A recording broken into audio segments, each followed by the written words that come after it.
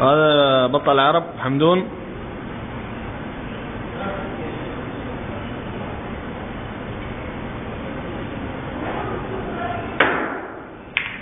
يا سلام والله يعلق وصفق والله